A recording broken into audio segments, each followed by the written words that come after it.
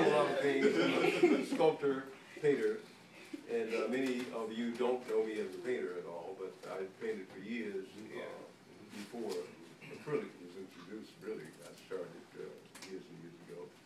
And uh, I was director of uh, the Watts Towers Art Center and the Watts Towers for a long time, for, since the city of Los Angeles became involved.